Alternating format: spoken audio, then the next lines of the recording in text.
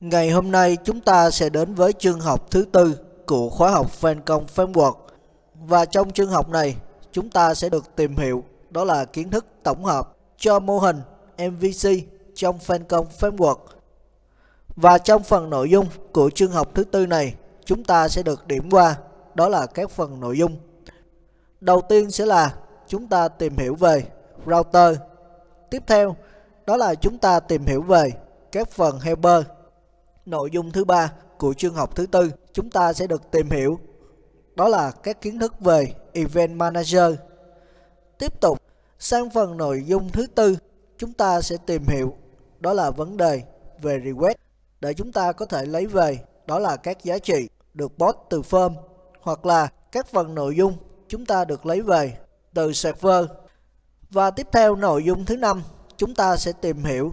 Đó là Service Manager và tiếp tục chúng ta sẽ đến với Departure, Departure lớp. Tiếp tục chúng ta sẽ tìm hiểu đó là phần nội dung về Redirect. Sau đó chúng ta sẽ đến với nội dung về Message để có thể đó là tạo ra các câu thông báo.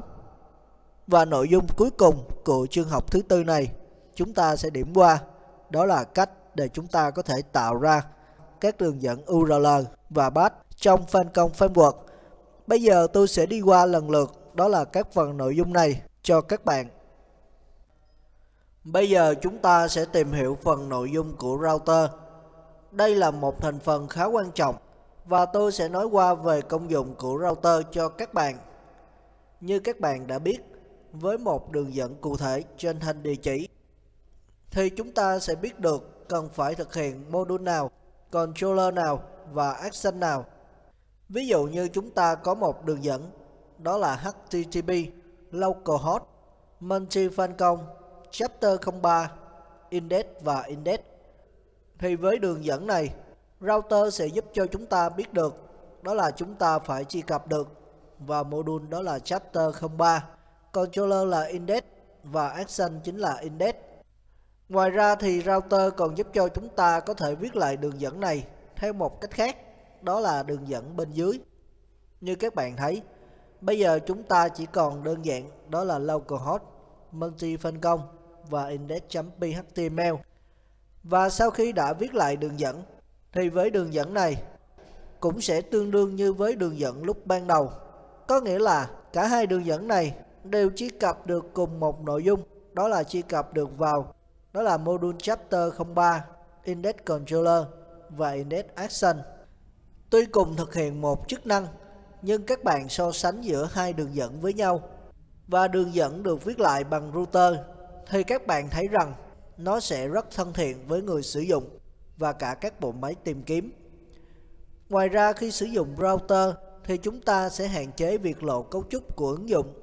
Ví dụ như với đường dẫn đầy đủ này thì người dùng có thể suy ra được nó nằm ở module chapter 03, index controller và index action còn khi chúng ta viết lại thì người dùng khó có thể đoán biết được cấu trúc của ứng dụng được xây dựng như thế nào. Để chuẩn bị bước vào nội dung của chương 4 này, thì tôi sẽ thực hiện đó là tạo ra một module mới và tôi sẽ đặt tên cho nó là module chapter 04. Đồng thời để chuẩn bị cho nội dung của router thì tôi tiến hành đó là tạo ra một controller và controller của chúng ta chính là router controller. Bây giờ quay trở lại phần mã nguồn. Tôi cũng thực hiện tạo ra một module, đó là thông qua việc copy module hello. Và bây giờ chúng ta sẽ có đó là module chapter 04. Tôi sẽ truy cập vào module này và như thường lệ chúng ta sẽ tiến hành thay đổi đó là tập tin module.php. Thì tại đây tôi thực hiện đó là nhấn Ctrl phím F. Tiếp tục chúng ta sẽ tìm kiếm đó là từ khóa hello và chúng ta sẽ thay thế.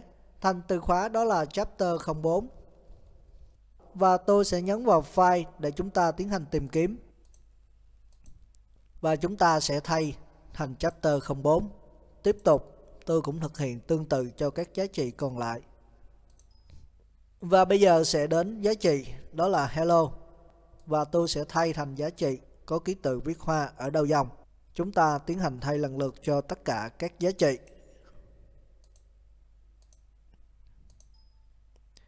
Như vậy, tiến trình thay các từ khóa đã thực hiện xong. Và sau đó thì tôi sẽ thực hiện, đó là truy cập vào thư mục config.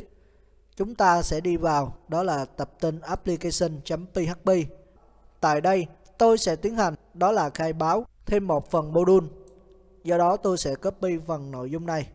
Bây giờ chúng ta sẽ có module, đó là chapter 04.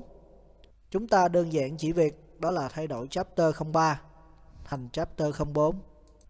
Như vậy, sau hai bước này thì chúng ta tiếp tục đó là thay đổi phần controller. Tôi sẽ đi vào thư mục controller và tập tin index controller. Bây giờ không còn là hello mà sẽ là chapter 04. Và nội dung của index action thì tôi cũng tiến hành thay đổi. Bây giờ sẽ là module chapter 04. Bây giờ chúng ta sẽ tiến hành đó là truy cập vào index controller và index action. Tôi sẽ nhập vào đường dẫn, đó là localhost. Tiếp tục chúng ta vào multi phân công. Thì các bạn thấy chúng ta đã truy cập được vào nội dung, đó là index controller và index action. Tuy nhiên, đây là phần nội dung thuộc về chapter 03 bởi vì chúng ta đã thiết lập module mặc định, đó chính là module chapter 03. Bây giờ tôi sẽ tiến hành thay đổi phần module mặc định này. Để thay đổi phần module mặc định thì chúng ta sẽ truy cập vào tập tin, đó là service.php và tại đây, chúng ta sẽ truy cập vào dịch vụ router. Và tôi sẽ tạo ra thêm một phần ghi chú. Tôi cũng tiến hành copy phần mã nguồn này. Bây giờ module mặc định của chúng ta sẽ là module chapter 04 và tôi tiến hành refresh lại trình duyệt. Thì các bạn thấy, bây giờ chúng ta đã truy cập được vào nội dung. Đó là index controller, index action thuộc về module chapter 04 như vậy chúng ta đã tạo thành công, đó là module chapter 04